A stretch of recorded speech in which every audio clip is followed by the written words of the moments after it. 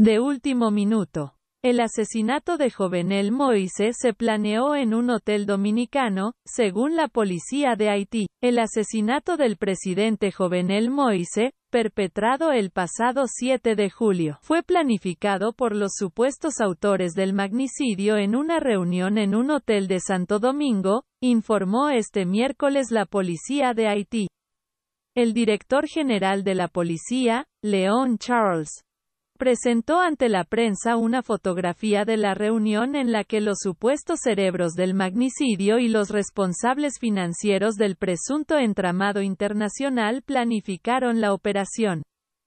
El responsable también mostró la red de contactos entre los presuntos implicados y aportó detalles sobre la supuesta red que cuenta con ramificaciones en Estados Unidos y Colombia.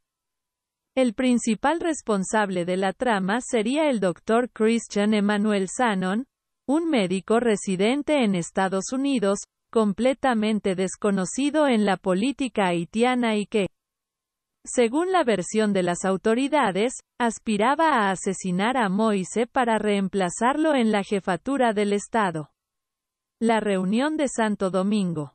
Todos los elementos que planificaron, ejecutaron el asesinato se reunieron en el Hotel de Santo Domingo, dijo Charles. En la reunión de Santo Domingo, según la policía, participaron además de Sanon, otras cinco personas. Entre ellas el venezolano Antonio Emanuel Intriago Valera, director de la empresa CTU Security, sospechosa de contratar a los mercenarios colombianos que habrían perpetrado el ataque. También estaban en la cita Walter Veintemilla, responsable de la consultora Worldwide Capital Lending Group, señalada con la compañía que financió la operación. Además, estaban el ex senador John Joel Joseph, en busca y captura, el alcalde de Jacmel, Sur, Mark Iquesa, y James Solayes detenido junto a los mercenarios colombianos y sospechoso de ser el enlace con CTU Security. Balance de detenidos. Por el momento, 23 personas han sido arrestadas, incluyendo 18 colombianos y 5 haitiano-estadounidenses, mientras que 3 colombianos fallecieron en tiroteos con la policía.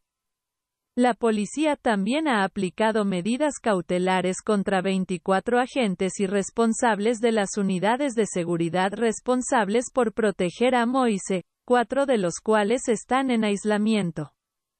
Órdenes de búsqueda. La justicia ha emitido cuatro órdenes de búsqueda y captura contra cuatro haitianos más que, según confirmó hoy Charles, están implicados en el caso. Entre ellos, figura el ex senador John Joel Joseph, sospechoso de ser el tesorero del grupo y de coordinar encuentros con los mercenarios, entre otras tareas, como el alquiler de vehículos y el pago de materiales. Otro de los implicados es Joseph Félix Badio, exfuncionario de la Unidad Anticorrupción del Gobierno, que es señalado como el coordinador de la operación en el terreno y de la logística. En concreto, la policía le acusa de haber alquilado una casa cerca de la casa del presidente, usada en la operación, y de haber falsificado placas de vehículos y de los logotipos de la DEA supuestamente usados por el comando. Rodolphe Jaar, condenado en 2015 en Estados Unidos por narcotráfico. También es apuntado como coordinador de la operación y, supuestamente, alojó a los mercenarios tres días antes del asesinato. El empresario Gordon Fenil Desir, también en búsqueda y captura. Está acusado de coordinar encuentros entre los mercenarios y de encargarse del alquiler de vehículos y del pago de Jovenel Moise, asesinado presidente de Haití. Si usted lo sabía, recuérdelo. Si no lo sabía, anótelo. Déjanos tu comentario. Si no estás suscrito a este canal, suscríbete ahora para que este y otros comentarios te sean notificados y seas parte del debate.